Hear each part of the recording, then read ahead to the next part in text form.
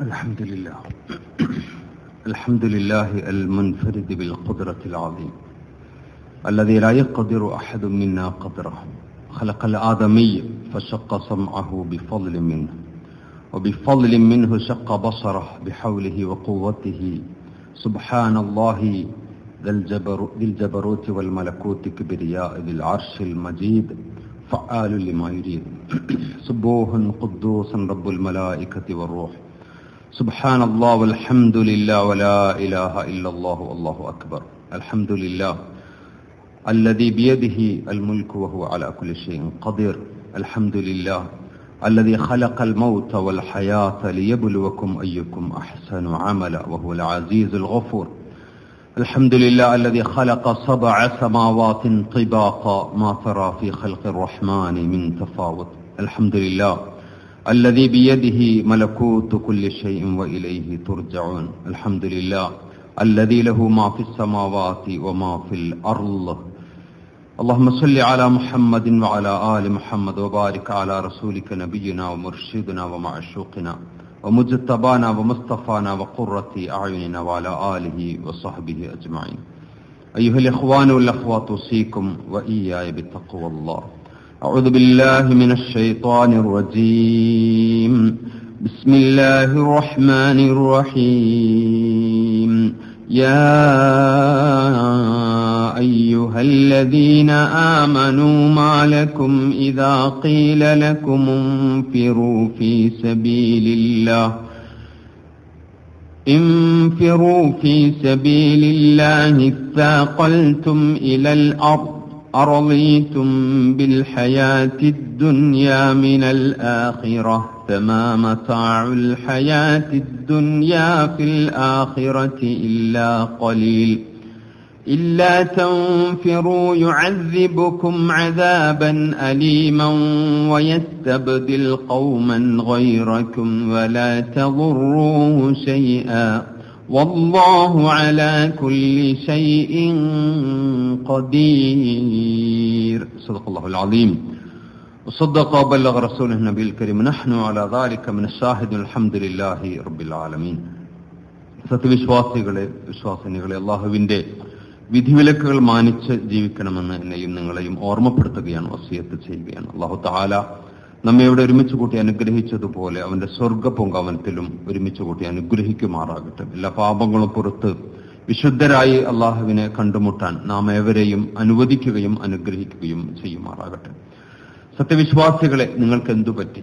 അള്ളാഹുവിന്റെ മാർഗത്തിൽ ധർമ്മസമരത്തിൽ നിന്ന് നിങ്ങൾ ഇറങ്ങി പുറപ്പെട്ടുകൊള്ളുക.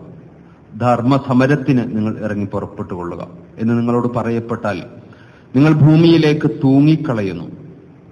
ഭൂമിയോട് ഒട്ടിച്ചേരാൻ ശ്രമിക്കുന്നു. പരലോകത്തിനു പകരം ഇഹലോക ജീവിതം കൊണ്ട് നിങ്ങൾ തൃപ്തിപ്പെടുകയാണോ? എന്നാൽ പരലോകത്തിന്റെ മുമ്പിൽ ഇഹലോകത്തിന്റെ സുഖാനുഭവം തുച്ഛവും വളരെ ചെറുതുമാണ്. നിങ്ങൾ അള്ളാഹുവിന്റെ മാർഗത്തിൽ ഇറങ്ങി പുറപ്പെടുന്നില്ലെങ്കിൽ അള്ളാഹു നിങ്ങൾക്ക് വേദനയേറിയ ശിക്ഷ നൽകുകയും നിങ്ങളല്ലാത്ത മറ്റൊരു ജനതയെ അവൻ പകരം കൊണ്ടുവരികയും ചെയ്യും. അവന് ഒരു ഉപദ്രവവും ചെയ്യാൻ നിങ്ങൾക്കാവില്ല. അള്ളാഹു ഏതു കാര്യത്തിനും കഴിവുള്ളവനാകുന്നു. സൂറ അത്തൗബയിലെ മുപ്പത്തിയെട്ട് മുപ്പത്തിയൊമ്പത് വചനങ്ങളാണ് ഇത്. അള്ളാഹു ഈ ഭൂമിയിൽ മൃഗങ്ങളെ സൃഷ്ടിച്ചതുപോലെ അല്ല മനുഷ്യനെ സൃഷ്ടിച്ചത്. മൃഗങ്ങൾക്ക് പ്രത്യേക ഉത്തരവാദിത്തങ്ങളും ലക്ഷ്യമും ഒന്നുമില്ല. അവർ തിന്നുക കുടിക്കുക ഭൂമിയിൽ നിന്ന് പിരിഞ്ഞു പോവുക. നമ്മൾ അങ്ങനെയല്ല കൃത്യമായ കാഴ്ചപ്പാടും കൃത്യമായ ഉദ്ദേശ ലക്ഷ്യങ്ങളും കൃത്യമായ കർമ്മപദ്ധതിയും നമുക്കല്ലാഹു നിശ്ചയിച്ചു തന്നിട്ടുണ്ട്. ഏതൊരു ജനതയുടെയും വളർച്ചയ്ക്ക് അത് ആവശ്യമാണ് വിഷൻ കാഴ്ചപ്പാട്. ഞാൻ എന്തിനാണ് കല്യാണം കഴിക്കുന്നത്? എല്ലാവരും കെട്ടുന്നുണ്ട് ഞാനും കെട്ടുക. അവർ പരാജയപ്പെടും. വിഷൻ വേണം. എന്റെ മക്കളുടെ ഉമ്മയാകാൻ കഴിയുന്നവളെയാണ് ഞാൻ വിവാഹം കഴിക്കേണ്ടത്. എന്റെ മകനെ പഠിപ്പിക്കണം. എന്തിനാ പഠിപ്പിക്കുന്നത്? എല്ലാവരും ചേരുന്നുണ്ട്. ഡിഗ്രിയെങ്കിലും ഇല്ലെങ്കിൽ എങ്ങനെ പറയാ? അപ്പൊ ആളുകളുടെ മുന്നിൽ ഡിഗ്രി ഉണ്ടാവണമെങ്കിൽ അല്ലെങ്കിൽ ഉയർന്ന ഒരു അവസ്ഥയിൽ എഴുന്നേറ്റ് നിൽക്കണമെങ്കിൽ ഏതെങ്കിലും ഡിഗ്രി വേണം. ഏതെങ്കിലും ഡിഗ്രി. ടേസ്റ്റ് പ്രശ്നമല്ല. നിലവിലെ സാധ്യതകൾ പ്രശ്നമല്ല. ബിടെക്കാണ് ഒരു ട്രെൻഡ് അങ്ങോട്ട് പോകുന്നു ഇങ്ങനെ വിഷനില്ലായ്മ വലിയ ദുരന്തമാണ്. മക്കളും ഉണ്ടായിക്കൊണ്ടിരിക്കുന്നുണ്ട്. അങ്ങനെയൊക്കെയോ വളരുന്നുണ്ട്. എല്ലാം ജീവിതം മൊത്തം അങ്ങനെയാണ്. വിഷൻ വളരെ പ്രധാനമാണ്. കൃത്യമായ കാഴ്ചപ്പാട്. കേരള പിറവി ആഘോഷിക്കുകയോ ആചരിക്കുകയോ ചെയ്യുന്ന ഒരു സാഹചര്യമുണ്ട്. നമ്മുടെ നാടിന്റെ ഏറ്റവും വലിയ ശാപം വിഷൻ ഇല്ലായ്മയാണ്. വിഷൻ വളരെ പ്രധാനമാണ്. വിഷൻ ഉണ്ടാകണമെങ്കിൽ വിവരമുള്ള നേതാക്കന്മാരുണ്ടാകണം. കാഴ്ചപ്പാട് വളരെ പ്രധാനമാണ്. നേതൃത്വത്തിന്റെ വിഷൻ വളരെ പ്രധാനമാണ്. നമുക്ക് മോഡൽ മുഹമ്മദ് സല്ലാ അലൈഹി സ്വലമയാണ് നമുക്ക് എന്നല്ല ലോകത്തിന് മൊത്തം മോഡലായിട്ടാണ് മുഹമ്മദ് സല്ലാഹു അലൈഹി സ്വലമ വന്നത് എന്ന് പറയുന്നുണ്ട്. ആ മുഹമ്മദ് സല്ലാഹു അലൈഹി സ്വലമയുടെ ചെരുപ്പും പ്രവാചകന്റെ തലപ്പാവും പ്രവാചകന്റെ തിരുശേഷിപ്പുകളുടെ പിറകെ പോവാനല്ല അള്ളാഹുവിന്റെ റസൂൽ പറഞ്ഞത്. ഞാനൊരു വിഷൻ നിങ്ങൾക്ക് തന്നിട്ടുണ്ടായിരുന്നു. ആ വിഷൻ വളരെ പ്രധാനമാണ്. ആ വിഷൻ ഇല്ലാതെ ഇല്ലാത്തതാണ് നമ്മുടെ നാടിന്റെ ശാപം. നാൽപ്പത്തിനാല് നദികളുള്ള ഒരു നാടാണ് നമ്മുടെ കേരളം. ഒരുപാട് പ്രത്യേകതകളുണ്ട്. കേരളത്തെക്കുറിച്ച് ഒരാൾ പറഞ്ഞത് എവിടെ പോയാലും ബോറടിക്കില്ല എന്നാണ്. കേരളം വിട്ട് നിങ്ങൾ തമിഴ്നാട്ടിലോ ഉത്തർപ്രദേശിലോ ഡൽഹിയിലോ ബീഹാറിലോ ഒക്കെ പോയി കഴിഞ്ഞാൽ കുറെ സ്ഥലങ്ങൾ നിങ്ങൾക്ക് ബോറടിപ്പിക്കും. കേരളത്തിൽ ഏത് മുക്കിലും മൂലയിലും ചെന്നാലും മനോഹരമായ ദൃശ്യങ്ങളാണുള്ളത്. ഏറെ ശ്രദ്ധേയമായ ഒരു കാര്യം വിശുദ്ധ ഖുർആൻ കേരളത്തിലെ ഒരു ചെടിയെക്കുറിച്ച് പരാമർശിക്കുന്നുണ്ട് എന്നതാണ്. ഇതൊരു ചിന്തയാണ് സാധ്യത ധാരാളമുണ്ട്.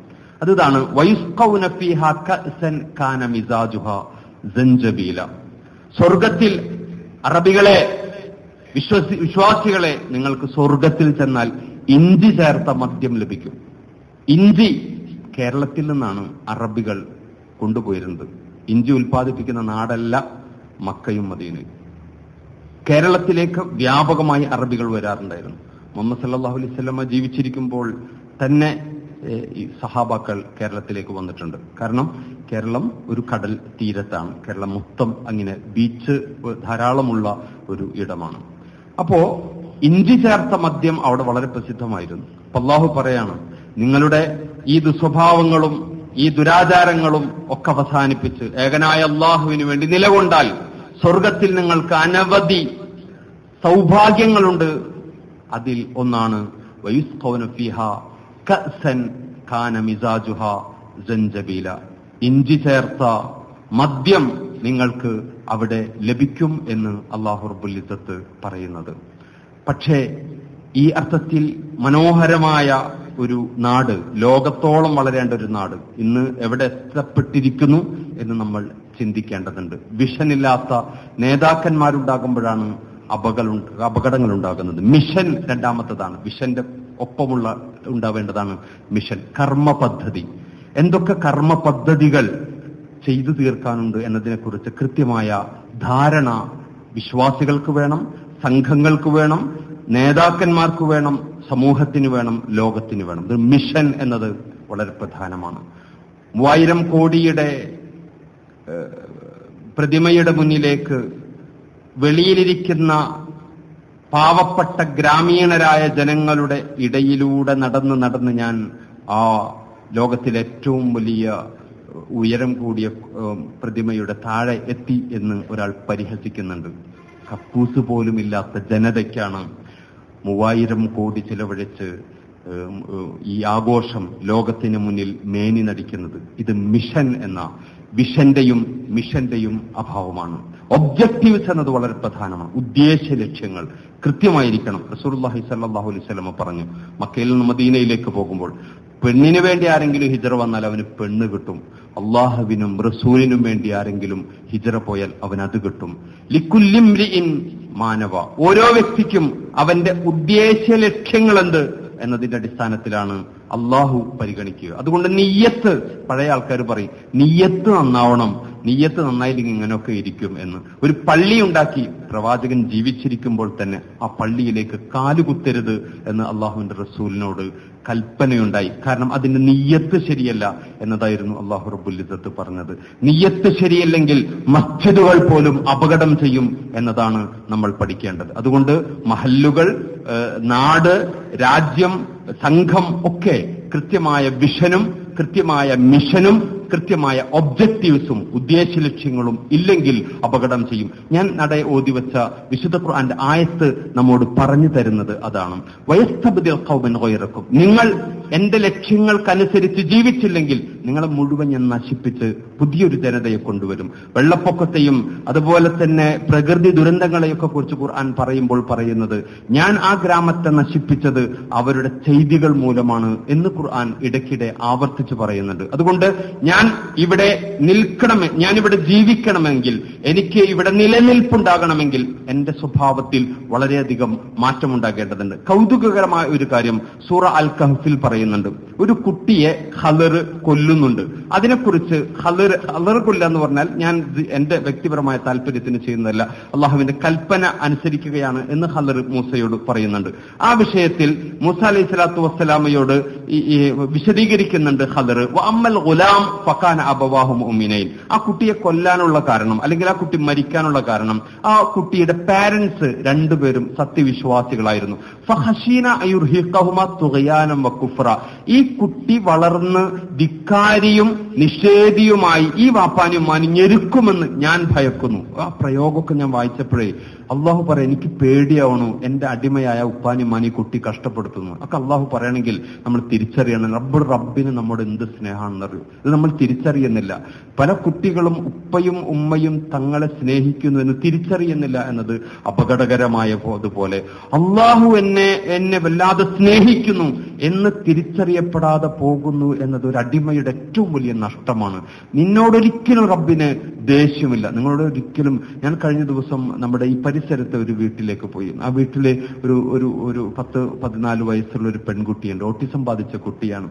ആ കുട്ടി മൂലം ആ- വീട്ടിൽ ഉപ്പാക്കും മാക്കും ജീവിക്കാൻ പറ്റുന്നില്ല. മീൻ കഴുകിക്കൊണ്ടിരിക്കുമ്പോൾ അല്ലെങ്കിൽ ക്ലീൻ ചെയ്തുകൊണ്ടിരിക്കുമ്പോൾ കുട്ടി ഉമ്മയുടെ മുടിക്കെട്ട് പിടിച്ച് ബാക്കിലേക്ക് വലിക്കും. അതോടുകൂടി നിലത്തേക്ക് വീഴും. ഭക്ഷണം ഡൈനിങ് ടേബിൾ കഴിച്ചുകൊണ്ടിരിക്കുമ്പോൾ കറി എടുത്തിട്ട് വലിച്ചെറിയും. ഞാൻ അവിടെ ചെന്നപ്പോൾ മൂന്ന് തവണ ഉമ്മയെയും മൂത്തമകളെയും ഉപ്പയെയും കണ്ണിലി കുട്ടി ഇങ്ങനെ കുത്തുന്നുണ്ട്. പക്ഷെ ഞങ്ങൾക്ക് കൊല്ലാൻ പറ്റില്ലല്ലോ. അവർ പറയും ഞങ്ങൾക്ക് കൊല്ലാൻ കഴിയില്ലല്ലോ. ഗതി കെടുമ്പോൾ ഞങ്ങൾ കയ്യും കാലും കൂട്ടിയിടും. അപ്പോൾ അവൾ തന്നെ കൂട്ടിയിടാൻ പറയും. ഇതൊക്കെ ഒരു ഓരോ വീടിലും അനുഭവിക്കുന്ന വേദനകളാണ് ഞാൻ പറയുന്നത്. അവരുടെ മൂത്ത മകൾ പ്രസവിച്ചപ്പോൾ ട്വിൻസാണ് ഏ ആറു മാസമൊക്കെ കഴിയുമ്പോൾ പ്രസവിച്ചത്.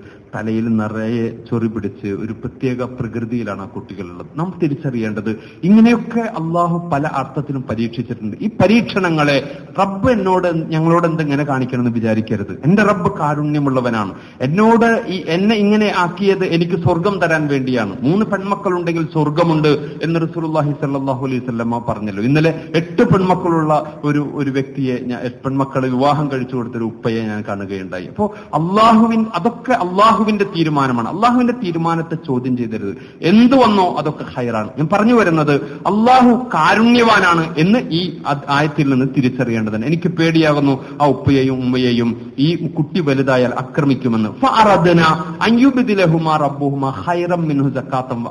റഹ്മ ഈ പേരൻസിന് ഈ കുട്ടിയെ മരിപ്പിച്ചിട്ട് പകരമായി സ്വഭാവത്തിൽ അവനേക്കാൾ ഉത്കൃഷ്ടനും ഏറെ കുടുംബ സ്നേഹവുമുള്ള ഒരു കുട്ടിയെ പകരം കൊടുക്കാൻ ഞാൻ ആഗ്രഹിക്കുന്നു. ചില മക്കളൊക്കെ ചെറുപ്പത്തിൽ മരിച്ചു പോകുമ്പോൾ ഈ ആയത്തൊക്കെ ഓർമ്മ വേണം. അലഹമില്ല ഇത് റബ്ബിന്റെ തീരുമാനമാണ്. അങ്ങനെ അള്ളാഹുവിന്റെ വർത്തമാനങ്ങളെ മനസ്സിലാക്കുമ്പോഴാണ് നമുക്ക് ഊർജം ഉണ്ടാവുക. അതിനാണ് ഖുർആൻ ഓതാൻ പറയുന്നത്. ഒരു ഉസ്താദ് പറയുന്നത് കേട്ട് ഖുർആൻ സാധാരണക്കാർ വായിക്കരുത്. അത് ഞങ്ങൾ പണ്ഡിതന്മാർ പറഞ്ഞുതരാന്ന്. മഹാ അബദ്ധമാണ് എന്റെ സഹോദരങ്ങളെ. മുഹമ്മദ് സല്ലാഹു അലൈഹി വസല്ലമക്ക് ഖുർആൻ ഇറങ്ങി. ആ മുഹമ്മദ് സല്ലാഹു അലൈഹി വസല്ലമ അനിയ സഹാബാക്കൾക്ക് പറഞ്ഞു കൊടുത്തു ഇത് പറഞ്ഞു കൊടുക്കാണ്ട് തഫ്സീർ ഞാൻ പിന്നീട് പറഞ്ഞുതരാന്ന് ഒന്നും റസൂൽ പറഞ്ഞില്ല. ആയത്തങ്ങോട്ട് ഇറങ്ങും നബി അങ്ങോട്ട് പറഞ്ഞു കൊടുക്കും. സഹാബാക്കൾ ആ ആയത്തായിട്ട് അങ്ങോട്ട് നടക്കും. എല്ലാവരോടും പറയും. എന്നിട്ട് നബി മദീന പള്ളിയിൽ ഇനി ഇന്നലത്തെ ആയത്തിന്റെ തഫ്സീർ എല്ലാവരും കേട്ടോളൂ. അങ്ങനെ ഇല്ല സഹോദരങ്ങളെ. ഇത് നമ്മെ നമ്മ പണ്ഡിതന്മാർ പലപ്പോഴും നമ്മളെ പറ്റിച്ചുകൊണ്ടിരിക്കുന്നുണ്ട്. നമ്മൾ വിഡ്ഢികളായതുകൊണ്ടാണ് ആ ആ ആ അർത്ഥത്തിലുള്ള ഇരകളായി നമ്മൾ മാറുന്നത്. ഒരിക്കലും ഇരകളാകരുത്. ഖുർആൻ വായിച്ചാൽ മനസ്സിലാക്കാത്ത ഒന്നും അതിൽ പറയുന്നില്ല. നിങ്ങൾക്ക് ഏതെങ്കിലും വിഷയത്തിൽ മുസ്തബിഹാത്തുകൾ അതിലുണ്ട് മനസ്സിലാവാത്തതുണ്ടെങ്കിൽ അത് നിങ്ങൾ മനസ്സിലാക്കേണ്ട കാര്യമില്ല. അത് നിങ്ങളുടെ ഹൃദയത്തിൽ രോഗമുള്ള ആൾക്കാരാണ് അതിന്റെ പിറകെ പോകുന്നത്. അതിന്റെ വിശദീകരണം അള്ളാഹുവിന് മാത്രമേ അറിയൂ. പറഞ്ഞു വന്നത് തബുദീൽ എന്നത് വളരെ പ്രധാനമാണ്. നിങ്ങൾ നിങ്ങളുടെ കൃത്യമായ ലക്ഷ്യം ആ ലക്ഷ്യത്തോട് മുന്നോട്ട് പോയില്ലെങ്കിൽ നിങ്ങളെ മുഴുവൻ നശിപ്പിക്കുകയും പുതിയ തലമുറയെ കൊണ്ടുവരികയും ചെയ്യും എന്ന് പറയുന്നുണ്ട്. മക്കയിൽ നിങ്ങൾ നോക്കൂ മക്കയിൽ എത്ര മുസ്ലിങ്ങൾ കൊല്ലപ്പെട്ടു? വളരെ കുറച്ചേ കൊല്ലപ്പെട്ടു കൊല്ലപ്പെടുന്നുള്ളൂ. നിരന്തരമായി എല്ലാ ദിവസവും മക്കയിൽ ഇങ്ങനെ നബിയുടെ അനുയായികൾ അങ്ങനെ കൊന്നുകൊണ്ടിരിക്കുന്നുണ്ടോ? ഒരിക്കലുമില്ല ഒരിക്കലുമില്ല. അള്ളാഹു റബ്ബുൽ ഇദ്ദത്ത് അങ്ങനെ ചില സുന്നത്തുകൾ ഉണ്ടാക്കിയിട്ടുണ്ട്. നമ്മുടെ എന്നാൽ ഒരുപാട് മുസ്ലിങ്ങൾ കൂട്ടത്തോടെ കൊല്ല കൊല ചെയ്യപ്പെടുന്നുണ്ട്. അവിടെ ഒക്കെ നമ്മൾ നോക്കിയാൽ കാണാം. അവർ ഇങ്ങനെ ഈ- മയിൽപീലി മയിൽപീലിയെ ആരാധിക്കുന്ന നമ്മൾ കേരളത്തിൽ വിട്ടുകഴിഞ്ഞ് നമുക്ക് കാണാൻ സാധിക്കില്ല. കേരളത്തിന്റെ പ്രത്യേകത ഹൈറുൽ അർൾ എന്ന് കേരളം എന്ന പേരിട്ടത് അറബികളാണ്. ഹൈറുൽ അർൾ ഭൂമിയിലെ ഹൈറാണ് നന്മയാണ് ഇത് എന്ന്. ആ ഹൈറുൽ അറുളാണ് പിന്നെ കേരള എന്ന പേരിൽ അറിയപ്പെടുന്നത് അല്ലാണ്ട് കേരവൃക്ഷങ്ങളാണ് ഇതിനേക്കാളും നല്ല തെങ്ങ് നമ്മൾ തമിഴ്നാട്ടിൽ കാണാൻ സാധിക്കും. അവിടെ പൊള്ളാച്ചിയിലൊക്കെ ഇഷ്ടം പോലെ ഇതിനേക്കാളും വലിയ തേങ്ങയും തെങ്ങ്. ശ്രീലങ്കയിൽ പോയാൽ ഇതിനേക്കാൾ കൂടുതലുണ്ട്. അതുകൊണ്ട് തൊണ്ണൂറ് രാഷ്ട്രങ്ങളിൽ തെങ്ങുണ്ട്. കേരളത്തിൽ തെങ്ങുള്ളത് കൊണ്ട് കേരവൃക്ഷങ്ങളുടെ നാട് എന്ന് പറയുന്നതല്ല ശരി. ഇതിന്റെ പല പല അറബി വാക്കുകളും നമ്മൾ സംസാരിച്ചുകൊണ്ടിരിക്കുന്നുണ്ട്. അപ്പോ കേരളവും അറബികളും ഇസ്ലാമും തമ്മിൽ അഭേദ്യമായി വളരെ വേറിട്ട ഒരു ജനതയാണ് കേരളത്തിലുള്ളത്. മതമൈത്രിയുടെ വിഷയത്തിൽ ബുദ്ധിയുടെ വിഷയത്തിൽ അതുപോലെ തന്നെ സംസ്കാരത്തിന്റെ വിഷയത്തിൽ ഒരുപാട് അനാചാരങ്ങൾ നമ്മൾ വലിച്ചെറിഞ്ഞപ്പോഴും കേരളം വിട്ടുകഴിഞ്ഞപ്പോഴും അനാചാരത്തിലും അന്ധവിശ്വാസങ്ങളിലുമാണ് മുസ്ലിം സമുദായമുള്ളത്. പൊട്ട് തൊട്ട് തലയിൽ തട്ടമിട്ട ധാരാളം സ്ത്രീകളെ നമുക്ക് കേരളത്തിന് പുറത്ത് പോയാൽ കാണാൻ സാധിക്കും. അതുകൊണ്ട് അത് കൊല അള്ളാഹു നശിപ്പിക്കും ആ ജനതയെ. ഒരു ഒരു ദാക്ഷിണ്യവുമില്ലാതെ ഒരു കാരുണ്യവുമില്ലാതെ അള്ളാഹു വൈപ്പ് ഔട്ട് ചെയ്യും. എന്നാണ് അള്ളാഹു റബുലിസത്തെ ആയത്തിൽ പറഞ്ഞത്. അതുകൊണ്ട് നിങ്ങൾ രാവിലെ സുഖമായി കിടന്നുറങ്ങി തോന്നിയതുപോലെ ജീവിച്ചാൽ നിങ്ങളുടെ വീടിനെ നശിപ്പിക്കുക അള്ളാഹു. നമുക്ക് അങ്ങനെ കാണാൻ സാധിക്കല്ലോ ഓരോ വീടും നശിച്ച് അവിടുത്തെ മനുഷ്യരൊക്കെ മരിച്ചു പോണ കാണാൻ സാധിക്കുള്ളൂ കാരണം അള്ളാഹ്ക്ക് ആവശ്യമില്ല. ഇങ്ങനെ ചണ്ടികളെ അള്ളാഹുവിന് ആവശ്യമില്ല. ഊർജസ്വലരായ ഇജ്ജത്തുള്ളവരെ മാത്രമാണ് ആവശ്യം. അത്തറിന്റെ മണം എന്ന കമലസുറയ്യയുടെ മനോഹരമായൊരു കഥയുണ്ട്. ആ കഥയുടെ ആ കഥയിൽ ഈ കഥാപാത്രം പറയുന്നുണ്ട്. പൊളിഞ്ഞ് തുടങ്ങിയ ചുവരുകൾ ഓരോ മൂലകളിലും വല കെട്ടിക്കൊണ്ടിരിക്കുന്ന എട്ടുകാലികൾ. ഇതൊക്കെ നമ്മുടെ പല വീടുകളിലും അങ്ങനെ ഉണ്ട് കേട്ടോ. കീറി വാപ്പാക്ക് ഒരു പണിയില്ല. ആ മൂലയിലൊന്ന് പോയി ആ വെറുതെ ആ ചിലന്തിയെയും ആ എട്ടുകാലി വലയെയും ഒന്ന് വെടിപ്പാക്കിയാൽ അതെങ്കിലും ഒരു ഉപകാരവും. അങ്ങനെ ഒരു ഒരു പണിയും ചെയ്യാത്ത ചില ഉപ്പമാർ ചില വീടുകളിലുണ്ട്. പല വീടുകളിലും ഇങ്ങനെ ചിലന്തി കൂട് കെട്ടിയിട്ടുണ്ടാകും. നിറം മങ്ങിയ വില്ലീസ് തിരശീലകൾ അത്തറിന്റെയും പുകയിലയുടെയും മണം പറ്റി നിൽക്കുന്ന ഉരുളൻ തലയിണകൾ അവയെല്ലാം മാറ്റമില്ലാത്തവയായി അങ്ങനെ തന്നെ ഉണ്ട്. അദ്ദേഹം ഓർമ്മിക്കുകയാണ് അങ്ങനെ തന്നെ ഇപ്പോഴും ഒരു മാറ്റവും ഉണ്ടായിട്ടില്ല. അപ്പോൾ ഖുർഷീദ് നിങ്ങൾ ഈ മുറിയിൽ ഒരു മാറ്റവും വരുത്താറില്ലേ എന്ന് ചോദിക്കുന്നുണ്ട് ദയനീയമായി. ഒരു കസാല വേറൊരിടത്തേക്ക് മാറ്റിവെക്കുകയോ ഒരു പുസ്തകം ഒന്ന് മടക്കി വെക്കുകയോ എങ്കിലും ചെയ്തുകൂടെ? അതിന് കഥാപാത്രം കുർഷീദ് പറയുന്ന മറുപടി എനിക്ക് മാറ്റത്തെ പേടിയാണ്. മാറ്റം ഭയക്കാൻ പാടില്ല വിശ്വാസി. എപ്പോഴും ചേഞ്ച് എന്നത് വിശ്വാസിയുടെ ആഗ്രഹമാകണം. മക്കയിൽ തന്നെ അള്ളിപ്പിടിച്ചായിരുന്നില്ല. മദീനയുടെ മനോഹരമായ ഒരു ലോകത്തേക്ക് മുഹമ്മദ് സല്ലാഹു അലൈഹി വസല്ലം വരുന്നുണ്ട്. മാറ്റം എന്നത് വളരെ പ്രധാനപ്പെട്ട ഒന്നാണ്. വിശ്വാസി നിരന്തരമായി മാറിക്കൊണ്ടിരിക്കണം. വാർദ്ധക്യം എന്നത് വളരെ അപകടകരമായ ഒരു സ്റ്റേജാണ് യുവത്വത്തെ നിങ്ങൾ കരുതിയിരിക്കുക വാർദ്ധക്യത്തെ നിങ്ങൾ ഭയക്കുക. മുഹമ്മദ് സല്ലാഹു അലൈഹി സ്വലമ അങ്ങനെ ഭയക്കാറുണ്ട് പ്രവാചകൻ പ്രാർത്ഥിക്കാറുണ്ട്. അള്ളാഹുമ്മ ഇനി ഔദബിക്ക മിനൽ ഹരിം. അള്ളാഹുവെ വാർദ്ധക്യത്തിൽ നിന്ന് ഞാൻ നിന്നോട് ശരണം തേടുന്നു എന്ന്.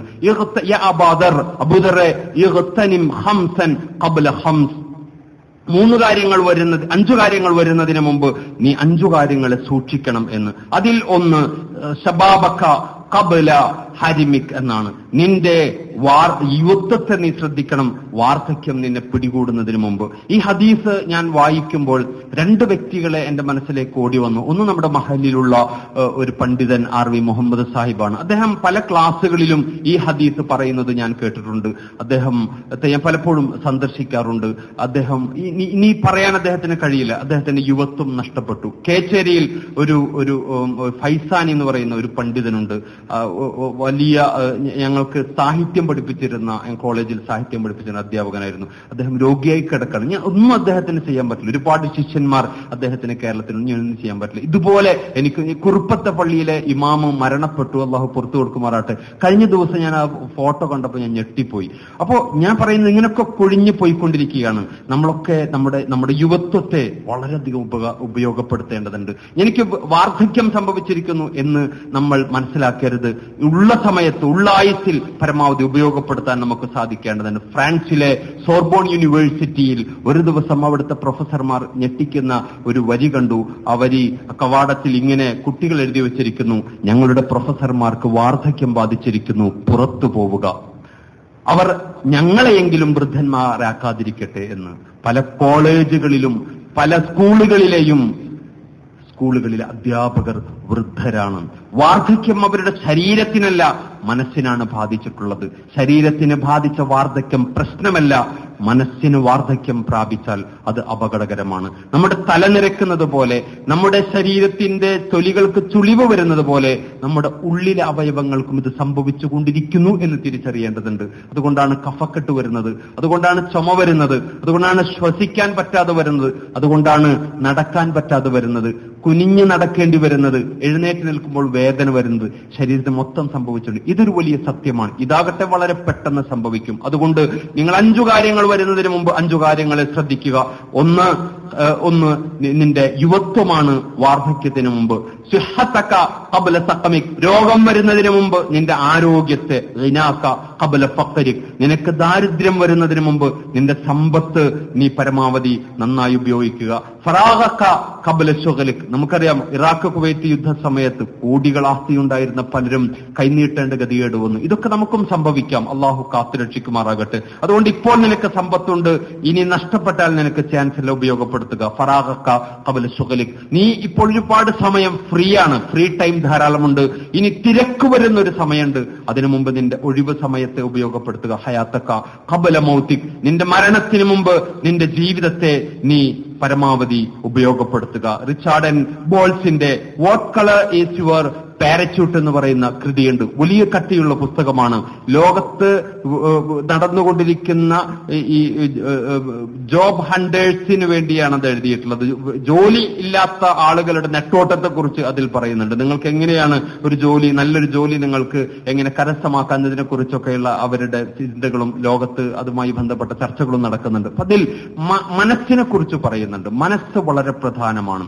മനസ്സാണ് ഏത് ജോലി കിട്ടണമെങ്കിലും ഒരു ഇന്റർവ്യൂവിൽ നിങ്ങൾ രക്ഷപ്പെടണമെങ്കിൽ മെന്റൽ പവർ നിങ്ങൾക്ക് വളരെ പ്രധാനമാണ്. മാനസികമായി നിങ്ങൾ തളർന്നാൽ നിരാശപ്പെട്ടാൽ നിങ്ങൾക്ക് ഒരിക്കലും ഒരു കമ്പനിയും ജോലി തരില്ല ഒരു സ്ഥലത്തും നിങ്ങൾക്ക് സമാധാനമായിട്ട് നിൽക്കാൻ പറ്റില്ല. അതുകൊണ്ട് മെന്റൽ പവർ ഇവിടെയാണ് ഇസ്ലാം പഠിപ്പിക്കുന്ന പ്രാർത്ഥനകൾ തസ്ബീഹുകൾ ഖുറാൻ പാരായണം നമസ്കാരം ഇതൊക്കെ ഈ ഒരു ഈ ഒരു സ്പിരിച്വൽ ആസ്പെക്ട് എന്ന് പറയുന്നത് വളരെ വളരെ പ്രധാനമാണ്. ഇതില്ലാത്തവർക്ക് പിടിച്ചു നിൽക്കാൻ വളരെയധികം പ്രയാസപ്പെടേണ്ടി വരും. അതിൽ രണ്ടു രണ്ടു മാനസികാവസ്ഥ പറയുന്നുണ്ട്. ഒരേ സാധ്യത ഒരേ സാഹചര്യത്തെ തന്നെ രണ്ടു തരത്തിൽ വിചാരിക്കുന്നവരെ കുറിച്ച് പറയുന്നുണ്ട്. It was the best of times എന്ന് ഒരുത്തൻ പറയും.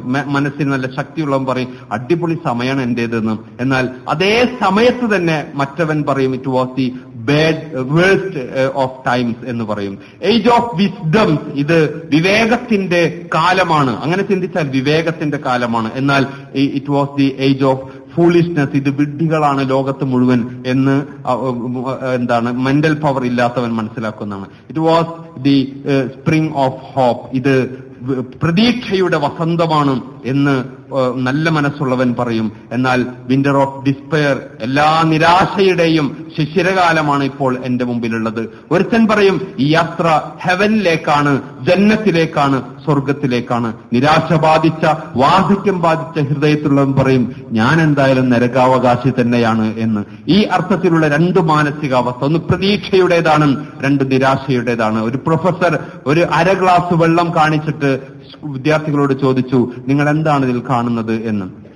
കുറെ കുട്ടികൾ പറഞ്ഞു ഹാഫ് ഗ്ലാസിൽ ഗ്ലാസിന്റെ പകുതി വെള്ളമില്ല എന്ന്. കുറെ കുട്ടികൾ പറഞ്ഞു പകുതി വെള്ളമുണ്ട് എന്ന്. രണ്ടും പറഞ്ഞത് ശരിയാണ്. പക്ഷേ പോസിറ്റീവ് മൈൻഡ് ഉള്ളവരാണ് വെള്ളത്തെ കാണുക. അല്ലാത്തവർ ആ എം ടി സ്പേസ് ആണ്. വെള്ളമില്ലാത്ത സ്ഥലമാണ് കാണുക. എപ്പോഴും നമ്മുടെ പ്രശ്നം അതാണ്. നമ്മുടെ ഭാര്യയെ ഉപേക്ഷിക്കാൻ നമ്മെ പ്രേരിപ്പിക്കുന്നത്. അവളുടെ നെഗറ്റീവ്സ് ആണ് നമ്മൾ കാണുന്നത്. ഭർത്താവിനെ ഉപേക്ഷിക്കാൻ ഭർത്താവിനെ നിരാ നിരാശപ്പെടാൻ കാരണം അയാളുടെ നെഗറ്റീവ്സ് മാത്രമാണ് കാണുന്നത്. നന്മ കാണാനുള്ള മനസ്സില്ലാത്തവർക്ക് എല്ലാം നിരാശയായിരിക്കും. ഞാനും മോശം എല്ലാവരും മോശം. എന്നാൽ നല്ല മനസ്സുള്ളവർക്ക് കഠിന ഹൃദയനായ ക്രൂരനായ മുഹം ഉമറിനെ നോക്കിയിട്ട് റസൂൽ പറഞ്ഞില്ലല്ലോ ഉമറിന് എനിക്ക് വേണം എന്ന്. ഉമറിനെ എങ്ങനെ നരകത്തിലിടണം? അവനെ കൊല്ലണം എന്നല്ല പറഞ്ഞത്. നിങ്ങൾക്കറിയോ ഉമറിനു വേണ്ടി മാത്രമല്ല അള്ളാഹുവേ ഈ അബൂജഹലിനെ നീ എനിക്ക് തരണം എന്ന് റസൂൽ പ്രാർത്ഥിച്ചിട്ടുണ്ട്. ഒരു ഉമറിനെന്നല്ല രണ്ടാലൊരു ഉമറിനേക്ക് തരണം എന്നാ പറഞ്ഞത്. അതിന് നറുക്ക് വീണത് ഉമർ അലി അള്ളാഹുനാണ് അല്ലെങ്കിൽ അബൂജഹൽ എന്ന് നമ്മൾ ലാനത്ത് ചെല്ലുന്ന വ്യക്തി റലിയല്ലാഹു അൻഹു എന്ന് പറയുന്ന അവസ്ഥയിലേക്ക് ഉണർന്നേനെ. പക്ഷേ അയാൾക്ക് ഭാഗ്യമില്ല. ഭാഗ്യമില്ലാതിരിക്കാൻ കാരണം ഒരാളെ അള്ളാഹു ഇറങ്ങി വന്നിട്ട് നന്നാക്കില്ല. സ്വയം നന്നാവാൻ സന്നദ്ധരാകാതെ സന്നദ്ധരാകാതെ എന്ന് അള്ളാഹു റബ്ബുൽ ഇസത്ത് പറയുന്നുണ്ട്. അതുകൊണ്ട് എനിക്ക് മാറണമെന്ന് എനിക്ക് ചേഞ്ച് ഉണ്ടാകണമെന്ന് എനിക്ക് ഗ്രോത്ത് ഉണ്ടാകണമെന്ന് ഓരോരുത്തരും സ്വയം ചിന്തിക്കുകയും സ്വയം വിചാരിക്കുകയും ചെയ്യണം.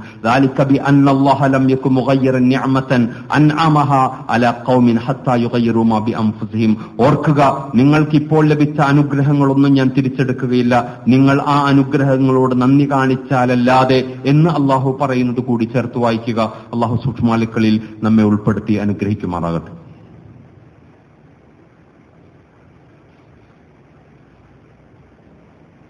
الحمد لله اللهم صل على محمد وعلى آل محمد كما صليت وباركت على إبراهيم وعلى آل إبراهيم في العالمين إنك حميد مجيد. اللهم ارض عن أربعة خلفاء الراشدين أمير المؤمنين أبو بكر وعمر وعثمان وعلي رضي الله عنهم رضوا عنه أجمعين. يا أيها الذين آمنوا اتقوا الله حق تقاته ولا تموتن إلا وأنتم مسلمون. إن الله يأمركم بالعدل والإحسان وإيتاء ذي القربى وينهى عن الفحشاء والمنكر والبغي لكم لعلكم تذكرون لذكر الله أكبر الله يعلم ما تصنعون അള്ളാഹുവിന്റെ വിധിവിലക്കുകൾ മാനിച്ച് ജീവിക്കണമെന്ന് ഒരിക്കൽ കൂടി എന്നെയും നിങ്ങളെയും ഓർമ്മപ്പെടുത്തുകയാണ് വസീയത്ത് ചെയ്യുകയാണ് ദീർഘമായ ഒരു ഹദീസാണ് ഇബിനു അഷമ്മാസ് റളിയല്ലാഹു അൻഹു ആണ് ഈ ഹദീസ് റിപ്പോർട്ട് ചെയ്യുന്നത് ഹലർന അമ്രബൻ അൽ ആസ് ഫി സിയാഖത്തിൽ മൗത്ത് അമ്രുബുൽ ആസ് മരണാസന്നനാണ്.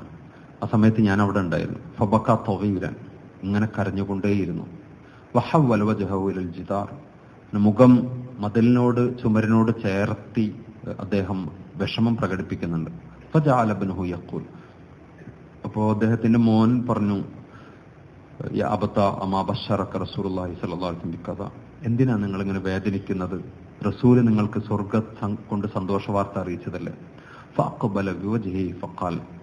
അപ്പോൾ ഈ അമർബുല്ലാസ് തിരിഞ്ഞിട്ട് പറഞ്ഞു ഇന്ന അഫ്ലലമ ഷഹാദത്ത് അല്ല ഇലാഹ ഇല്ലല്ലാഹ്. എനിക്ക് ഞാൻ എനിക്ക് ലഭിച്ച ഏറ്റവും വലിയ അനുഗ്രഹം അഷദു അല്ലാ ഇലാഹ ഇല്ലല്ലാ എന്ന് പറഞ്ഞ് ഇസ്ലാം സ്വീകരിച്ചതാണ്. ഇനി കുന്തു അല അസബാഖൻ ഫലാസ് മൂന്ന് ഘട്ടങ്ങൾ എന്റെ ജീവിതത്തിൽ കഴിഞ്ഞു പോയിട്ടുണ്ടായിരുന്നു. ലഖദ് റഅയ്തുനി വമ അഹദുൻ അഷദ്ദ ബുഗ്ളൻ ലിറസൂലുള്ളാഹി സ്വല്ലല്ലാഹു അലൈഹി വസല്ലം എനിക്ക് ഇത്ര വെറുപ്പുള്ള റസൂലിനെ പോലെ ഒരാളുണ്ടായിരുന്നില്ല. വല അഹബ അനക്കുന ഖദ് ഇസ്തംകൻതു മിൻഹു ഫഖതൽതുഹു. കൊല്ലാൻ കഴിയുമെങ്കിൽ റസൂലിനെ കൊല്ലുക അതിനേക്കാൾ ആനന്ദകരമായ ഒന്നും എനിക്കുണ്ടായിരുന്നില്ല. ഫല ഉമ്മത്തു അല തിൽക്കൽ ഹാൽ ലക്കുന്തു മിൻ അഹ്ലി നാർ. ഞാൻ അങ്ങനെ ആ സമയത്ത് മരിച്ചിരുന്നെങ്കിൽ ഞാൻ നരകാവകാശിയാകുമായിരുന്നല്ലോ. ഇതാണ് ഒരു ഘട്ടം. സെക്കൻഡ് ഘട്ടം. ഫലമാ അലല്ലാഹു അൽ ഇസ്ലാം ഫി ഖൽബി അത്തൈത്തു നബി സല്ലല്ലാഹു അലൈഹി വസല്ലം ഫഖുൽതു ഇബ്സുത് യമീനക് ഫല ഉബായിഅക് അങ്ങനെ ഞാൻ അള്ളാഹു എനിക്ക് ഇസ്ലാം തന്നു. ഇസ്ലാം സ്വീകരിക്കാൻ വേണ്ടി ഞാൻ റസൂലിന്റെ അടുത്തേക്ക് പോകണം. നബിയെ കണ്ടു നബിയോട് കൈ നീട്ടാൻ പറഞ്ഞു ഞാൻ ബയ്യത്ത് ചെയ്യാം. അങ്ങനെ പ്രവാചകൻ ഫബസത്ത യമീനഹു നബി കൈ നീട്ടി. ഫഖബൽതു യദി. അപ്പൊ ഞാനാണെങ്കിൽ കൈ ഇങ്ങനെ പിടിച്ചു വെച്ചിരിക്കുകയാണ്. കൈ നീട്ടാൻ പറഞ്ഞ റസൂൽ ഇങ്ങനെ കൈ നീട്ടി നിൽക്കുന്നു ഞാൻ കൈ വെക്കണില്ല. കാലമാലൊക്കെ യാ അമ്ര റസൂൽ ചെന്ത അമ്ര എന്ത് പറ്റി നിനക്ക്? നീ എന്താ എന്റെ കൈയോട് ചേർത്ത് വെക്കാത്ത ബയ്യത്ത് ചെയ്യാത്ത? പൊളിത്തു അറത്തു അൻ അസ്തരി എനിക്കൊരു ഡിമാൻഡ് ഉണ്ട് തസ്തരി ദിമാത പറഞ്ഞോളൂ എന്താണ് നിന്റെ ഡിമാൻഡ്? കൊൽത്തു അഞ്ഞകസറലി എന്റെ പാപങ്ങളൊക്കെ പൊറുക്കണം. കാല അമ അലിം അമിൽത അല അമ അലിംത അനൽ ഇസ്ലാമ യഹ്ദിമു മക്കാന കവല ഇസ്ലാം മുൻകഴിഞ്ഞ പാപങ്ങളൊക്കെ പൊറുക്കും നിനക്കറിയില്ലേ? ഒമാക്കാന അഹബ്ബ ഇല യമിൻഹു വല അഹല്ല ഫി ഐനി മിൻഹു. പിന്നീട് റസൂലിനെ പോലെ എനിക്കിഷ്ടമുള്ള മറ്റാരും എനിക്കുണ്ടായില്ല. ഒമാക്കും തൂത്തിയക്കു അൻ അംല ഐനയ്യ മിൻഹു പ്രവാചകനോടുള്ള ആദരവ് കാരണം നബിയെ എനിക്ക് കാ നോക്കാൻ പോലും ഞാൻ മടിച്ചു നബിയുടെ മുഖത്തേക്ക് തന്നെ നോക്കാൻ അദ്ദേഹത്തിനോടുള്ള ആദരവ് കാരണം ഞാൻ ഇത്ര വലിയ കുറ്റം ചെയ്ത വ്യക്തിയാണല്ലോ ഞാൻ നോക്കിയില്ല വലൗസു ഇൽതു അൻ അസിഫഹു മാ അഖുൻ അംലഉ ഐനയ്യ മിൻഹു. അംലഉ ഐനയ്യ മിൻഹു. ഒരാൾ എന്നോട് ചോദിക്കുകയാണ് എങ്ങനെയുണ്ട് നബി? എന്ന് വെച്ചൊക്കെ പറയാൻ പറ്റില്ല. നബിയുടെ കണ്ണ് എങ്ങനെയാണ്? മൂക്ക് എങ്ങനെയാണ്? നബിയുടെ മുഖം എങ്ങനെയാണ്? എനിക്ക് പറയാൻ പറ്റില്ല. അത്ര പോലും ഞാൻ പ്രവാചകന്റെ ആദരവ് കാരണം ഞാൻ നോക്കിയില്ല. വലമുത്വാലാത്തിൽ ജന്ന ആ സമയത്താണ് ഞാൻ മരിക്കുന്നതെങ്കിൽ എനിക്ക് ഈമാൻ ഉണ്ടായിരുന്നു സ്വർഗം കിട്ടിയനെ. ഇനിയാണ് നമ്മൾ ശ്രദ്ധിക്കേണ്ടത്. വലീന അഷ്യ അമ അജരി മഹാലി ഫിഹ. പിന്നീട് ഞാൻ പലതിന്റെയും നേതാവായി പ്രസിഡന്റായി പലതിന്റെയും ചെയർമാനായി. നബിയുടെ മരണശേഷം പല വകുപ്പുകൾ ഏറ്റെടുത്തു. എന്തൊക്കെയാണ് അതിൽ ഞാൻ ചെയ്ത അബദ്ധങ്ങൾ കുറവുകൾ തെറ്റുകൾ എന്നെനിക്കറിയില്ല. അതിന്റെ പേരിൽ ഞാൻ പിടിക്കപ്പെടുമോ എന്ന് ഭയക്കുന്നു. ഫൈദ അനമി അനമുത്തു ഫൈദ ദഫൻതു മൂനി ഫഷന്നു അലയ്യ തുറാബ മോനോട് പറയാണ് ഞാൻ മരിച്ചാൽ എന്റെ കബറിലേക്ക് മണ്ണിടണം. സുമ്മ അക്കീമു ഹൗല കബരി കദറമ തൻഹറ ജസൂറുൻ വയുക്സിമു ലഹ്മഹ. ഒരു ഒട്ടകത്തെ അറുത്ത് വിതരണം ചെയ്യാനുള്ള സമയം അത്രയും എന്റെ ഖബറിന്റെ അടുത്ത് നിൽക്കണം. ഹത്തസ്ത ഇനി സബിക്കും വാൻ വറമാദ ഉറാജി റബ്ബി. പ്രവാചകൻ മുർസലി നബി മലക്ക് എന്നോട് ചോദിക്കുമ്പോൾ ആ ചോദ്യത്തിന് ഉത്തരം തോന്നിക്കാനും അള്ളാഹു എന്നോട് കാരുണ്യം കാണിക്കാൻ ഒരു പക്ഷേ ആ സമയത്ത് നൃത്തം ഉപകാരം ചെയ്യും. ഇമാം തുർമതി ഇമാം മുസ്ലിം ഈ ഹദീസ് റിപ്പോർട്ട് ചെയ്തിട്ടുണ്ട്. എന്റെ സഹോദരങ്ങളെ ഞാൻ നിങ്ങളൊക്കെ മരിക്കും. ഇതുപോലെ മകനെ നമുക്കിങ്ങനെ വസീത്ത് ചെയ്യാൻ സാധിക്കണം. ഇതുപോലെ മരിക്കാൻ നമുക്ക് സാധിക്കണം. അവസാന ഘട്ടം ഇതുപോലെ വിചാരിക്കാൻ നമുക്ക് സാധിക്കണം. തൗപ ചെയ്യാൻ സാധിക്കണം. ഇല്ലെങ്കിൽ ദുനിയാവ് വളരെ ക്ഷണികമാണ് വളരെ നശ്വരമാണ് അതാണ് ഖുർആാനിൽ നമ്മൾ ആദ്യത്തെ ആദ്യം ഓതി വെച്ചത്. അറവീത്തുമ്പിൽ ഹയാത്തി ദുനിയ. നിങ്ങൾ ദുനിയാവാണോ വലിയ പ്രാധാന്യത്തോടെ കാണുന്നത്? ആഹ്റത്തിനെ തട്ടിച്ചു നോക്കുമ്പോൾ ഇത് വളരെ ചെറുതാണ്. തിരിച്ചറിവ് വിവേകവും അള്ളാഹു നമുക്ക് പ്രദാനം ചെയ്യുമാറാകട്ടെ. ഏറ്റെടുത്ത ദൗത്യങ്ങൾ ഏറ്റവും ഭംഗിയായി നിർവഹിക്കുന്ന ഉത്തരവാദിത്ത ബോധമുള്ളവരിൽ അള്ളാഹു നമ്മെ ഉൾപ്പെടുത്തി അനുഗ്രഹിക്കുമാറാകട്ടെ. ജീവിതത്തിന്റെ ഉദ്ദേശ ലക്ഷ്യങ്ങളെ തിരിച്ചറിഞ്ഞ് കാഴ്ചപ്പാടോടുകൂടി മുന്നേറാൻ അള്ളാഹു നമ്മെ സഹായിക്കുമാറാകട്ടെ. നമ്മുടെ നാടിനെ അള്ളാഹു ഐശ്വര്യപൂർണമാക്കുമാറാകട്ടെ നമ്മുടെ വീടും കുടുംബവും മക്കളും ഒക്കെ ആർത്ഥത്തിൽ അള്ളാഹു ഉയർത്തുകയും വളർത്തുകയും ചെയ്യുമാറാകട്ടെ. നമ്മുടെ സമുദായത്തെ അള്ളാഹു കാത്തുരക്ഷിക്കുമാറാകട്ടെ നാം അനുഭവിക്കുന്ന എല്ലാ പിരിമുറുക്കങ്ങളും അള്ളാഹു നമ്മെവരെയും കാത്തുരക്ഷിക്കുമാറാകട്ടെ അള്ളാഹു അവന്റെ ജന്നാത്തുനായി നമുക്ക് എവർക്കും പ്രദാനം ചെയ്യുമാറാകട്ടെ നമ്മുടെ ജോലിയിലും ബിസിനസ്സുകളിലും മറ്റു കാര്യങ്ങളിലും ഒക്കെ അള്ളാഹു ബർക്കത്ത് പ്രദാനം ചെയ്യുമാറാകട്ടെ ലോകത്തിന്റെ വിവിധ ഭാഗങ്ങളിൽ അള്ളാഹുവിന്റെ ദീനിന്റെ പേരിൽ കഷ്ടപ്പെടുന്നവർക്ക് അള്ളാഹു ആശ്വാസം പ്രദാനം ചെയ്യുമാറാകട്ടെ അള്ളാഹു ആയിദ് الإسلام والمسلمين وأذل الشرك والمشركين اللهم انصر المسلمين في كل مكان اللهم أجرنا من النار اللهم إنا نسألك الفردوس الأعلى. اللهم هون علينا سكرات الموت. ربنا تقبل منا إنك أنت السميع العليم. ربنا هب لنا من أزواجنا وذرياتنا قرة أعين. واجعلنا للمتقين إماما. وتب علينا إنك أنت التواب الرحيم. اغفر لنا يا غافر المذنبين آمين. برحمتك يا رب